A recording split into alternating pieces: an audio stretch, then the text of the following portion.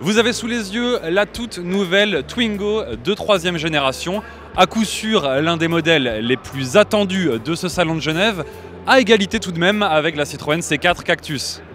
Développée en collaboration avec le groupe Daimler, la française reprend l'architecture de la Smart Fortwo et disposera donc d'une motorisation à l'arrière. Cela permet de dégager un diamètre de braquage record avec seulement 8,65 m. Dommage toutefois, Renault n'a aménagé aucun coffre à l'avant.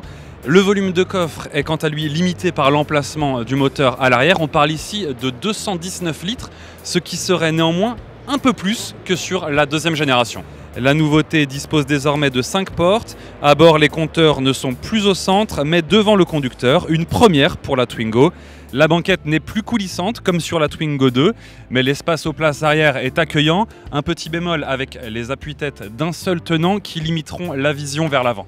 Côté motorisation exit le diesel, Renault ne proposera que des 3 cylindres essence. On sait déjà qu'il y aura une version 71 chevaux et 90 chevaux, au choix boîte manuelle 5 rapports ou à double embrayage également à 5 rapports.